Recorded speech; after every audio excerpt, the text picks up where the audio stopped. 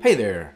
Let's say you are just absolutely crazy and you do want to include a neat line around your map, but you don't want to deal with the math involved with making sure that the neat line is nudged in evenly along all the directions. And you don't want to mess with guides and stuff like that, even though that's pretty cool. Let's just do this the easy way and insert a rectangle and benefit from the fact that it will snap to the edges of your layout. That's cool.